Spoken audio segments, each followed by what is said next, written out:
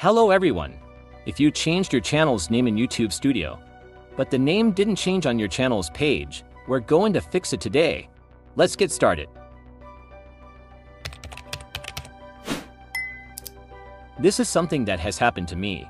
I changed my channel's name a few months ago in my YouTube Studio, but when I check my YouTube channel, I see my old name. If you have the same issue, there are three problems you might be facing. First problem is time. It might take you up to 14 days for YouTube to change your name. Even though, in 99% of cases your channel's name will be updated in a few minutes or hours, you might need to wait for up to 14 days for process to be completed.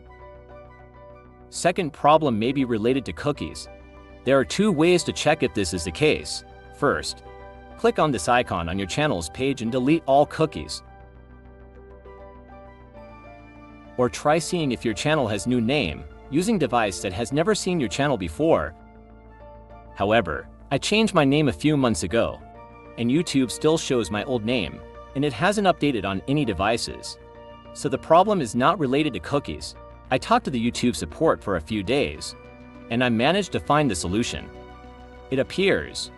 Then I had activated translation for channel name and description.